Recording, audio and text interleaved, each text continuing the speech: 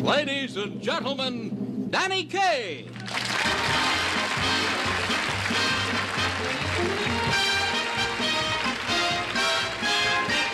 You're sitting alone in your room.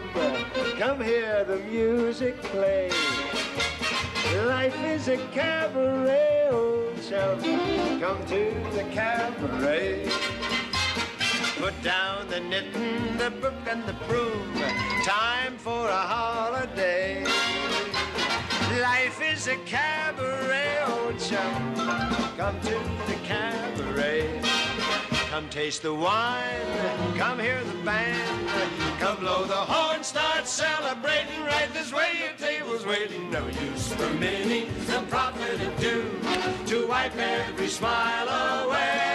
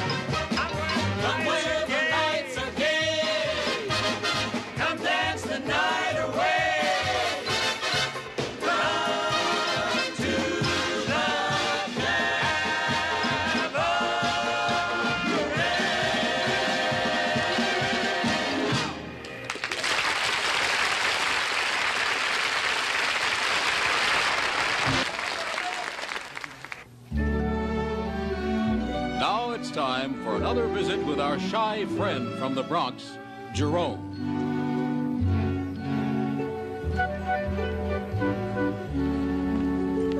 Uh, okay, kids.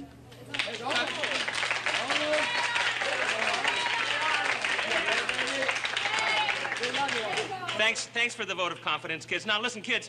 In just a few minutes, the stage of the Mosholu Park Community Center Theater is going to be graced by a former member of this very group who's gone on and done big things in show business, Mr. George Burns. That fabulous? Listen, kids, uh, kids, as you know, Mr. Burns has kindly consented to give us some pointers, you know, in our coming musical review. Now, remember, his time is precious, so let's not ask him a lot of pointless, amateur questions, right? Oh, yes, Sandra?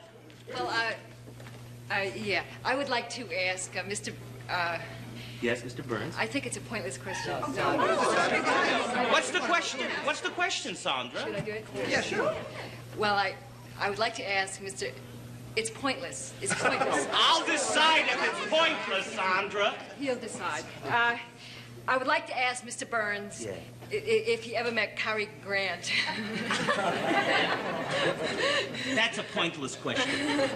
oh, I'm sorry that I. No, it's not.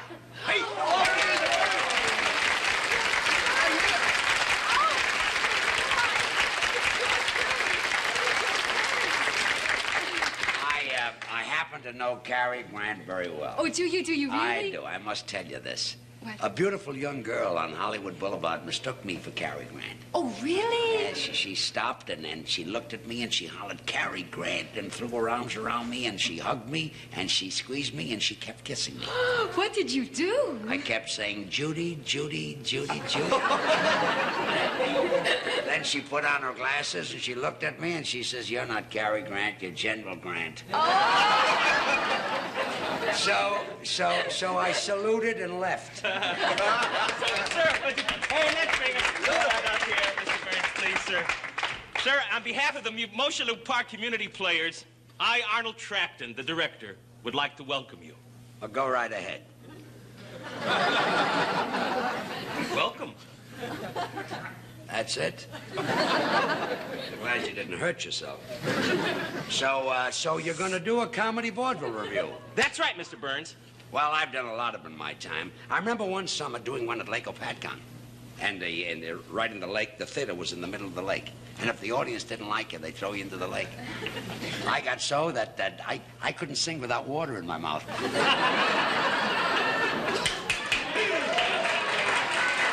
Mr. Burns, we have most of the musical numbers set for the review, but we are short on comedy. Well, comedy is a cinch. Now, who's your top banana? That's just it. We don't have one. You can't do a review without a funny man. Need somebody that can deliver jokes, somebody who can take pie in the face, somebody who can do funny falls. I'm,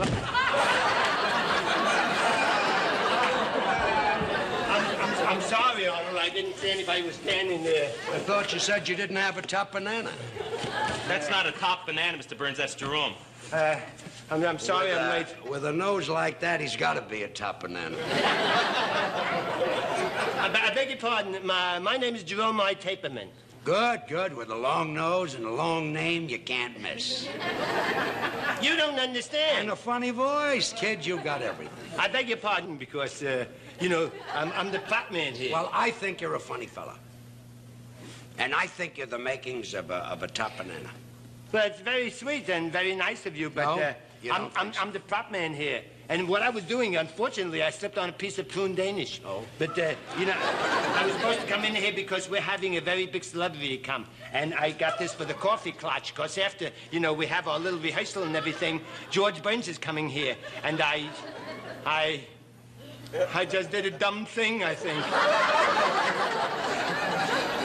I'm George Burns. How, how, how do you do, Mr. Burns? Mr. Mr. Burns, with all due respect, he's not one of our performers. He's just Jerome. He's, uh, he's just a prop man. nevertheless, that fall he took is as good a comedy fall as I've ever seen. Yeah, but Mr. Burns, I mean, I hasten to implore you that that was a very big accident. You know- Accident or not, it was a funny fall. And I'm going to prove to these people that anybody can be a top banana if you've got the right teacher. Yeah, but, but Arnold, excuse me, Arnold. I, I don't know how to do anything stage-wise. Cage! If Mr. Burns says he can help you, let him help you. I know, but why are you so hostile, Arnold? For heaven's sakes, Don't push me, Arnold. Get out there. I'll smash you with a prune dish. Ar- Arnold? Arnold? Once and for all, Arnold, I don't want you to behave like this in front of the rest of the players. You understand what I mean, Arnold? Uh, Mr. Baines, I'd, um, I'm willing to try, even if I can't tell a joke. Jerome, if you know how, it's the easiest thing in the world. I know how, and in a few minutes, you'll know how. And we'll, we'll, we'll take the simplest joke form in the world. I'm going to teach Jerome how to do a knock-knock joke. Knock-knock joke. Ready, Jerome? Uh, ready. Knock-knock. Come in. And no. Uh, you don't want to come in? What? Later, I'll come in. Oh, First, we got to get a laugh. Then I'll come in. I say what you mean. Yes, let's let's try it again. And you don't say come in. I don't say that. You say who's there. Now, got it? Right. Who's there? I didn't say knock knock. Come in.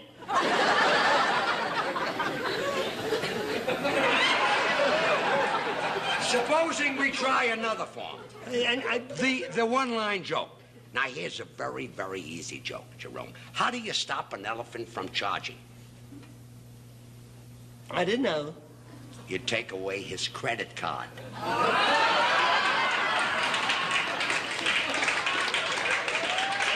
that's, that's very funny, Mr. Bones. Thank you. I mean, it's funny because an elephant doesn't even carry a wallet. Mean, where, where would an elephant keep a credit card? You know what I mean? He, does, he doesn't even wear pants, an elephant. You know? He can always keep it in his trunk. that's, that's funny, like a valise, you I mean. made up another yeah. joke. That's two jokes about an elephant. Well, there was one, a one about the charging, one about the charging, and the other one, the other, the credit card wouldn't stop a real elephant anyway because he doesn't even know what a credit card is. I don't think. Because I mean, if, if an elephant doesn't have a credit card, you know, how who can he have to vouch?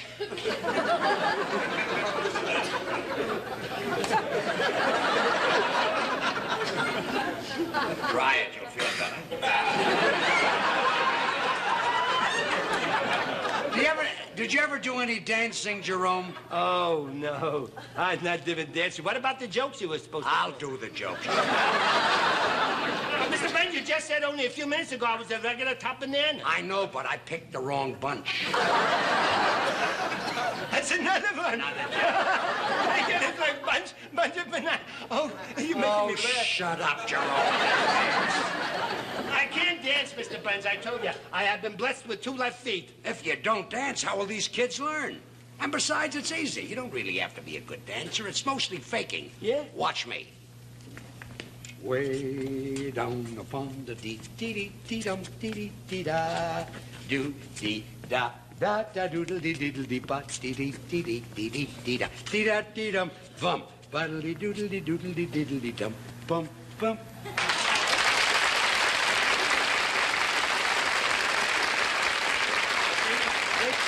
Hey, kid.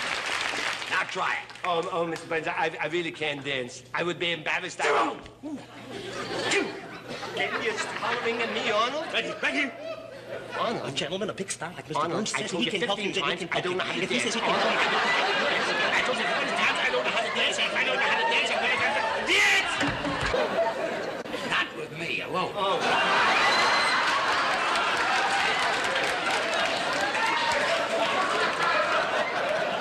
But you see, he didn't know it was those face, so he gave me a regular push and everything.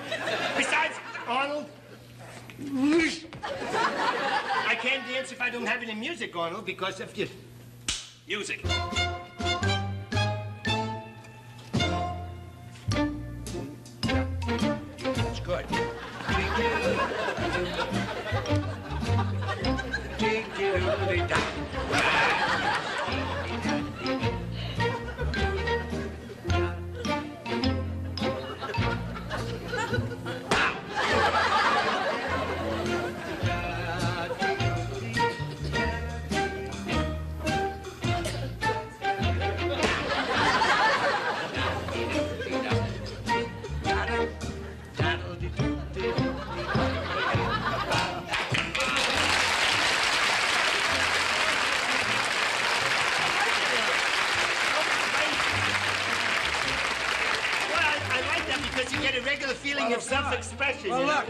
Got a meeting out of your hands, why don't you tell a joke?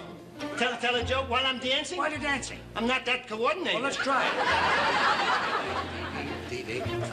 All right. Now tell a joke. All right. Uh, Mr. Baines? Yes. Uh, why does the chicken cross the road? To get on the other side.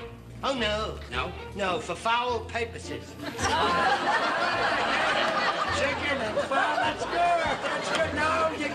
I got another one, too. Go ahead. Yeah. Why, why does the chicken go halfway across the road? I don't know. Why does a chicken go halfway across the road? To lay it on the line. That's Funny. You're in show business. I'm a tough banana. You're a tough banana. Oh, yeah.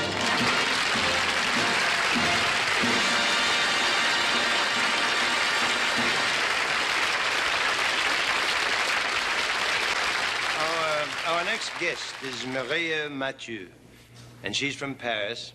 And although she's only 18 years old, she's already been acclaimed as the most popular singer in all of France.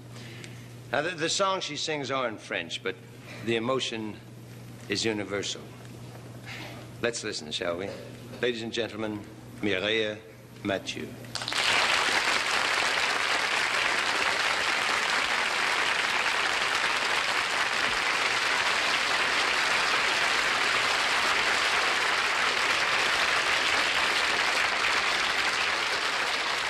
Fantastic. Isn't, isn't she really marvelous? She has such, she got such a marvelous quality. Luckily for me, she doesn't understand. But she really is. She's absolutely, they say, ravissant in French. She's really just beautiful. She has such a. Oh. Okay? Okay. Okay, yes. Mireille is uh, from Avignon, and she's the oldest of a family of 13. And, and there's going to be 14 soon. I think her mother's going to have another baby, huh? Okay. Okay. now, you know the incredible thing, she is an absolute sensation in Paris, in France, all of France. And she's only been singing professionally for eight months. And she doesn't speak a word of English. The one word she does say, she says extremely well. Okay? Okay. Okay. now, She's going to sing a beautiful French love song. Love, love song. A love song she's going to sing. That's a Run Run Shaw song. see? And after she sings it, I will then translate it for you. Tu prêt? Ok. Eh, Paul, je le parle. Je le baron sauteur sur les fermentures, tu tu vois la scène de faire. Et Mireille, je le baron sauteur sur les toits, on pose sur les tarentures. Très bien.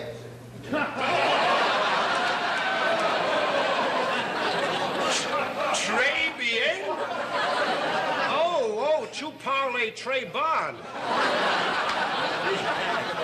OK.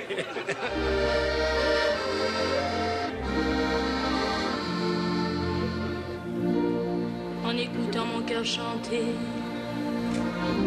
je vous retrouve à mes côtés. Me serrant très fort pour danser, guettant la nuit pour m'embrasser, murmurant des folies tout bas, me forçant à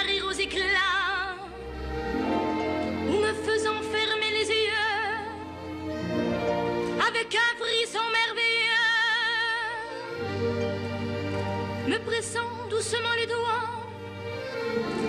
comprenant mes secrets et moi,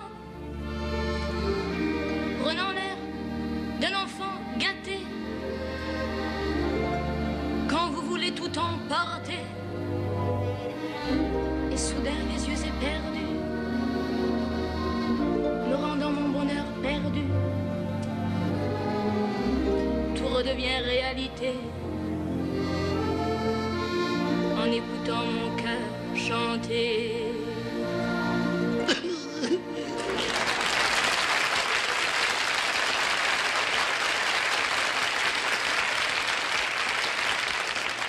I will. I, ah, I'll be all right. Just a minute. It, it, it,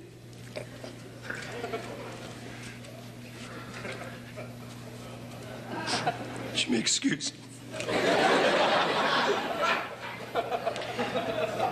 You, you, you sing it now, and then I will translate. Tu comprends? Mais oui. En écoutant mon cœur chanter, Don't wear tin underwear in an electrical storm. je vous retrouve à mes côtés. Make sure your dentist doesn't fill your throat.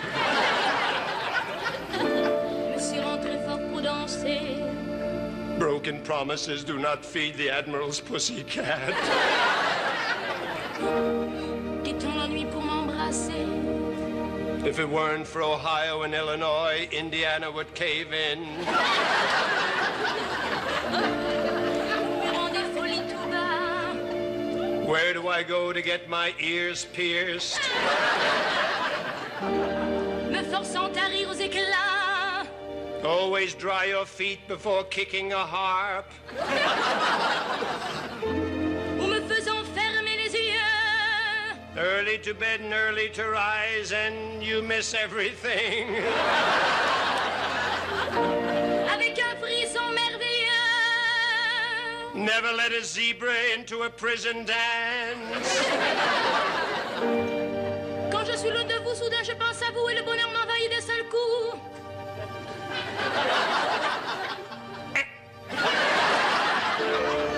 Comprenant mes secrets et moi, Oh. d'accord.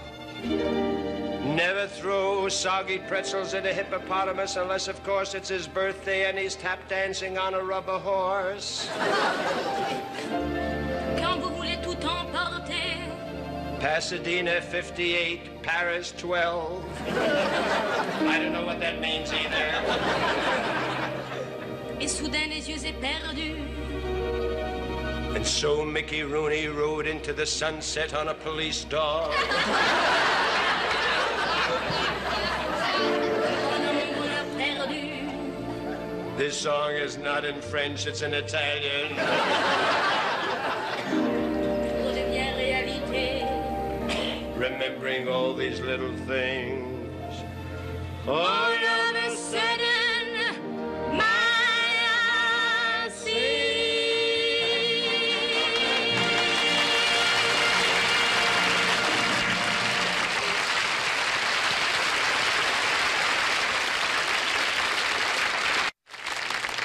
Several weeks ago, our choreographer, Tony Charmoli, created a stunning dance to the music of the lovely French folk song, Frère Jacques. And it was so uh, well received that we've decided to do something we've never really done before. We're going to repeat the number.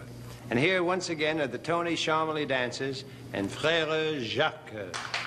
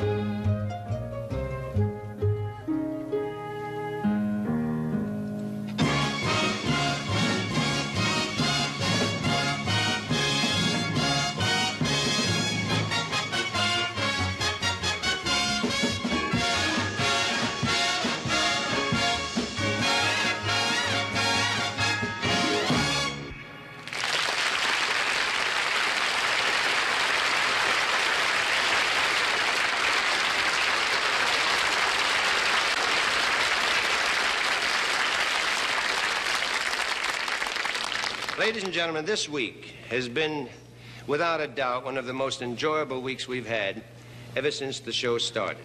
And, and there's a very good reason for that. The reason being that we have my very, very good friend George Burns with us. And you will find out, no matter what George is talking about, he's fun to listen to. Would you welcome, ladies and gentlemen, Mr. George Burns?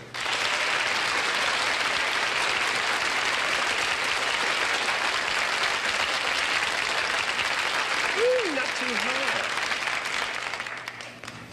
I want to rest. You do? Thank you, Danny. I'd like to start off by talking about your nose. you still think I'm fun to listen to? You know, th- this is crazy because you th- we could have gotten Soupy Sales and we decided to pick him. Well, I'll go get him. Good night, everyone. no, no, no, no. Come back here and sit down, George. You're, you're not getting off that easy. Don't worry, I'd never get off that way. if I had to make an exit, it Yeah. would be a big one. Yeah. You have you, you got a big finish? Oh, yeah, I do splits. I kick the back of my head. He scared me for I do a little paper tearing. Yeah? I got all kinds of finishes. Now I haven't got a finish. Comedians haven't got finishes. Yeah. You know, there's a whole different era, George. I, I don't know whether we'll ever see it again. Uh, I don't know, but I, I, I wasn't in, um in show business at the golden era when George was there because I think that was one of the most exciting era of show business in our lifetime, certainly. Uh, no, it's true. And the stories that George tells about those days, you know, I, um, He didn't precede me by much, I must say, but uh, that was a different era. I got in on the tail end of vaudeville. And um, I remember we, we did an act once, George, and I, and I was using a thick German accent. You know, oh. I was saying, Oh, I das haben Sie aber gehüben das Gröbe, die Hülsen? You get out from here or I will knock you the stairs down. In the middle of the act, the manager came by, he called me off, and I couldn't understand it because I was getting very big laughs, and, you know, I thought we were a very big hit. And the manager came over to me and said, Listen, you, you little schweinhund, you. no actor is going to make trouble and make jokes from the way I speak. You are cancelled from here out. that was the end of my whole, my, my whole career. I played the Dewey Theater. Yeah. That was on 14th Street. I did an act, Brown and Williams, singers, dancers, and roller skaters. And my name was Brown. Wait a minute. I must explain something. George must have done 140 acts and he had 140 different names. My name was Sammy Davis once.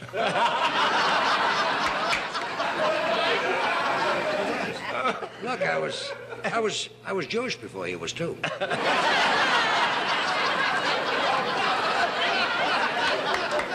anyway, Brown and Williams. We played the Dewey Theater on 14th Street. Yeah. And in those days, they used to book eight acts. And if they didn't like you after the, not they didn't like you, they used to close four acts after the matinee. Yeah. So you do your act, and you'd stand downstairs outside of your dressing room. The manager would pass. He'd say, "You're closed. You're closed. You're closed. You're closed." And he passed us. He didn't close us. He closed some acrobats standing next to us. Mm-hmm. And this acrobat picked this little manager up by the seat of his pants. He says, "Who's closed?" Pointed to me. He says, "You." Another time I did an act called Dunlap and Rosita. What was your name then? Dunlap. and uh, she was, she was. Why she was, weren't you Rosita? I tried. I tried everything. and anyway, it was Dunlap. And Rosita was a was a was a very beautiful girl. Yeah. But uh, she she was beautiful, but she had uh, she had bow legs. Really? Yeah. Oh yeah, they were bad. She always looked like somebody stole a cello. And the girls, the girls in those days wore short skirts, but Rosita was very self-conscious about her legs, so she wore a long dress right down to the ground. and we're playing the Myrtle Theater in Brooklyn. And she's on the stage dancing in this long dress, and I'm out there. Looked at the audience, and the audience looked so confused. They knew that she was doing something under that dress, but they didn't know what.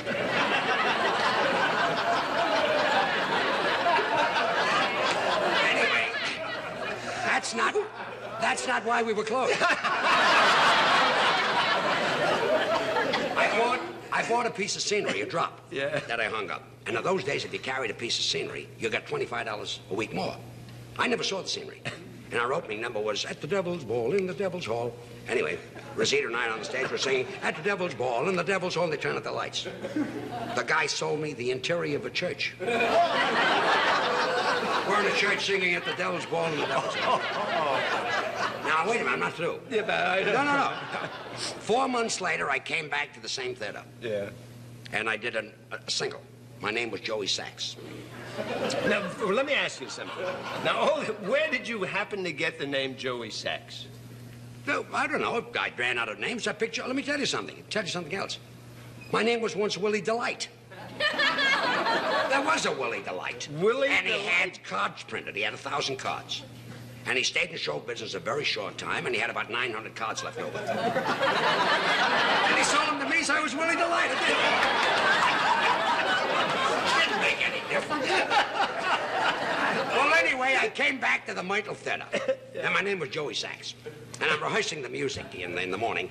And my opening song was, if you'll notice on the program where you mentions all the acts, you take a look at number two, you see the of Sachs. It doesn't say company or anything like that. It simply says assisted by his little derby hat. Ooh, there is a little mystery what this little hat can do. It has a bit of history that I will tell to you. It doesn't sing or doesn't dance or anything like that. It simply says assisted by his little derby hat. Ooh, and the manager came down the aisle. He said, hey, are you Dunlap of Rosita and Dunlap that did that did at the Devil's Ball? And I says yes, and he canceled me again before I even opened. Not only canceled me, but tore up my music and put his foot through my little derby hat.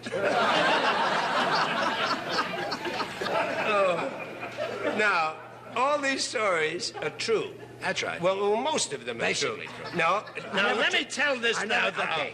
Can I fix my sock too? Yes. Because you're a star. I can do what you do. Well, I was always told to appear very neat in public, you see, That's so that then everybody will know that you're well trained, nice My boy. skin is in shape. Go ahead. Phyllis Diller sends her best. George Burns tells stories, and all of them have a basis in truth. But a lot of them don't have any finishes. So there's where he makes up the finish, and he confesses. When George begins to tell you the end of his story very confidentially, I know he's making up a lie. See? And one day, he and Jack Benny, I must tell you about Jack Benny and George Burns. They've been friends for what now, 35 years? 42 years. 42 years. That's a lie.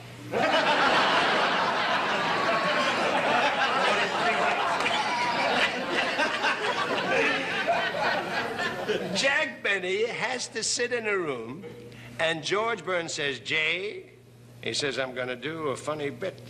And before he does anything, Jack falls on the floor. I have never seen anybody absolutely reduced to such hysteria as when George, and he, he doesn't tell him jokes. It isn't the fact that he tells him a joke. It's some silly thing he does that nobody else laughs at. Jack Benny gets hysterical. I was sitting in a restaurant one day, and he's laughing. I'm sitting there eating. He's laughing. So I go over to him. I said, What are you laughing at? I'm not doing anything funny. He says, Yeah. He says, But you're doing it on purpose.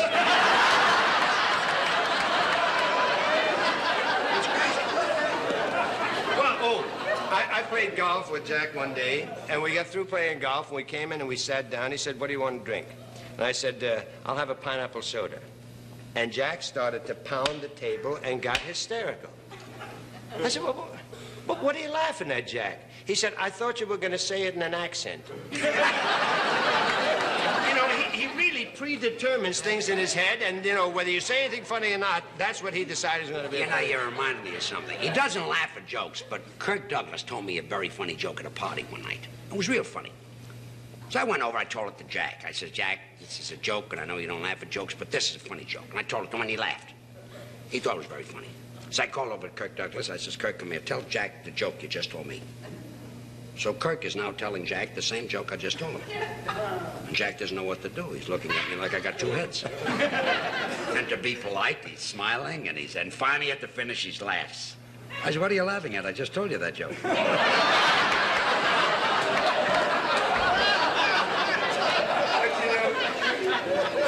Jack always gets himself involved, though, doesn't he? He always puts himself in the spot where Jack- George can do this. Jack starts everything himself. You see, all big things have happened to Jack, so they get to be unimportant. So the little things get to be important. Yeah.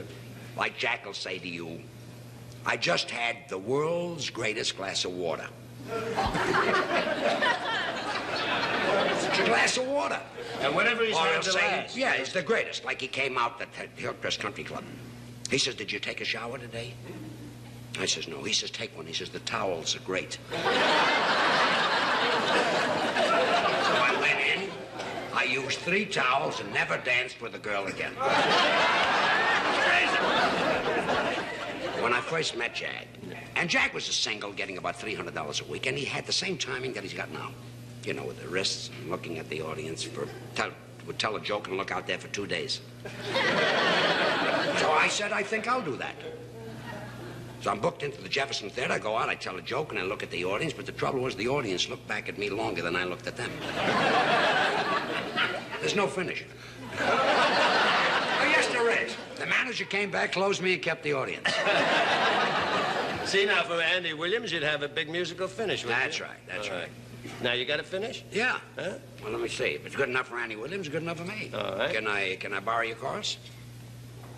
George, I, I, uh, I really don't like to bring this up in front of the audience, but if you remember, we, we had a little stipulation in the contract that if you sang on the show, you'd get $2,500 less. Can I borrow your chorus? Come on out, kids. Come on, kids.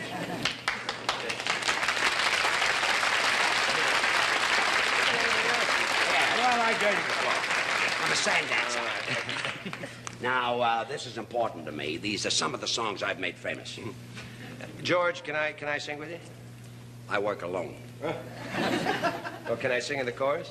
Do I get back the $2,500? You get it. You're in the chorus. All right. Uh, Paul, a nice big introduction to Red Rose Rag. Down in the garden where the red rose grows. Oh, my, I want to go. Me like a flower. Cuddle me an hour. Love me, let me learn that red rose rag. Red leaves are falling in that rosy romance. Bees hum, come, now's your chance. Don't go hunting possum, mingle with the blossoms in the flowery, flowery dance. Oh, that's all. That's plenty. I don't want anybody to steal these numbers. now, festival.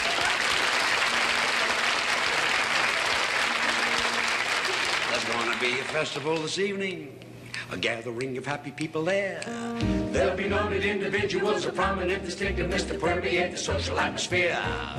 Everyone who's anyone will be there to honor my lovely fiancée. There'll be grand ovation, special ostentation when the preacher gives the lovely bride away. Oh, oh, oh, my God. That's all. That's, that's, that's, that's.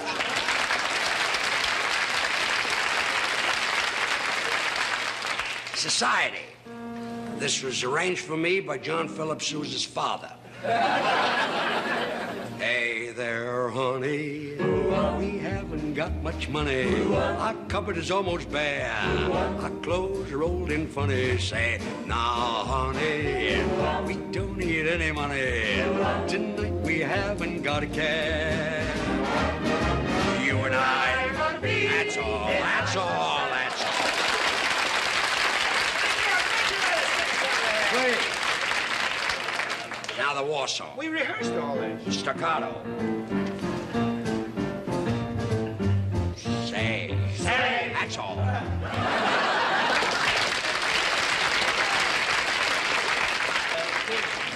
oh, what, what? My key. What? Mark one? Mark that, Mark one. Okay, Mark, Mark, one, Mark, Mark. No, no, no. Here. Oh, we all go down here? Yeah, that's Oh, I thought Mark We're gonna one was... get closer to the audience. So If I was in vaudeville, I'd use that as a name. Yeah, and if Mark we're a little one. bit longer. and if we're a little bit shorter, I say Judy, Judy, Judy. All right. What is it? Ain't misbehaving all by myself, ain't misbehaving, I'm happy on the shelf. No to talk to, save my love for you. Saving my love for you. Pretty. I know for certain you're the one I love. I'm through with flirting, baby. It's you that I'm thinking of. Ain't misbehaving, saving all my love for you. Saving all my love for Jackie Horner in the corner, don't go nowhere, and I don't care. Don't care. Nice. Don't care. Don't care. All your kissing. Don't care. Don't care. All your kisses are worth waiting for, baby. Don't care. All your kisses are worth waiting for, baby. Baddle dee doodle dee doo dee doo doo. I don't stay out late and I don't care to go. I'm home about eight, just me and my radio. Ain't misbehaving, saving all my love for food. Da doodle da dee pa pa pa pa pa pa boo. Boo. Da doodle da dee pa pa pa pa pa pa boo. Boo. Daddly doodly daddly doodly pa pa pa pa pa pa pa pa pa pa pa pa pa pa pa pa pa pa Don't care. Don't care. That's all. That's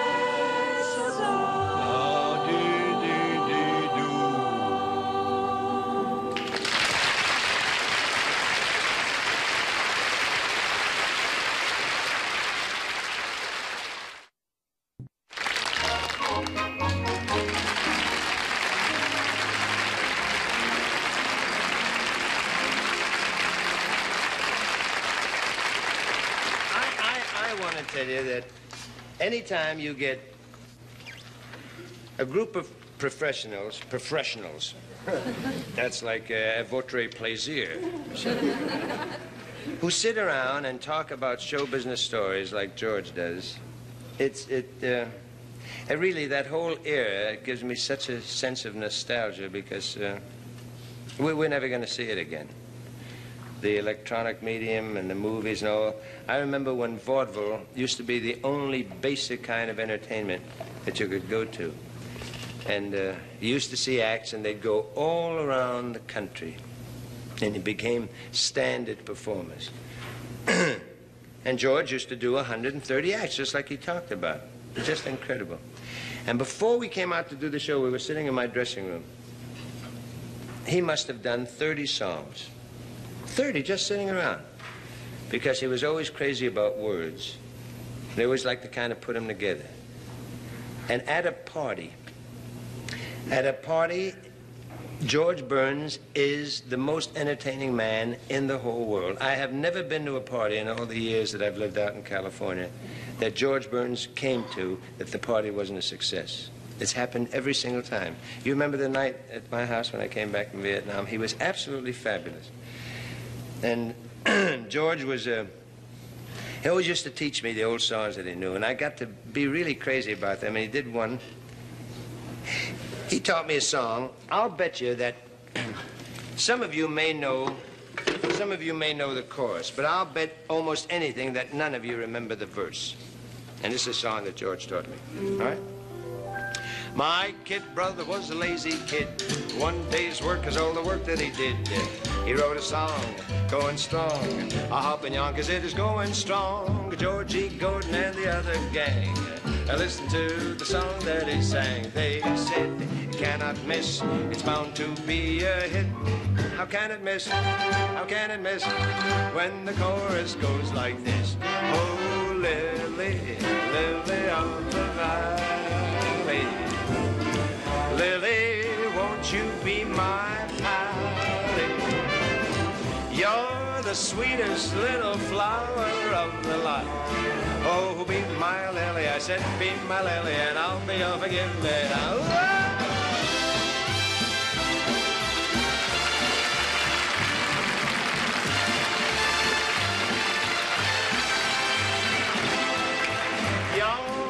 the sweetest, a little flower of the lot. Oh, be my lily, I said, be my lily, won't you be my lily? Come on, be my lily, and I'll be your forget-me-not.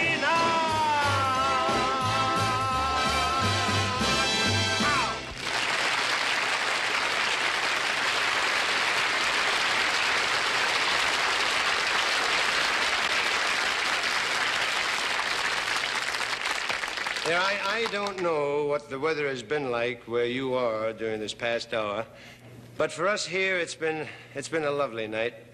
The stars were shining, and I want to thank one of the great established stars in our business, Mr. George Burns, and a bright new star from France, Mireille Mathieu. And I also want to thank a few of the members of our own little Milky Way, Harvey Korman and Joyce Van Patten. Now, now, just before I leave, Here's a news item that you may have missed. There is a professor called uh, uh, Charles McCann, and he's a, uh, he's a scientist and a horse breeder. And in the role of the scientist, he successfully crossed a thoroughbred racehorse with a centipede. No, no, that's true, and it's been running very well. But uh, last week it broke 33 of its legs, and they had to shoot a third of it. Good night.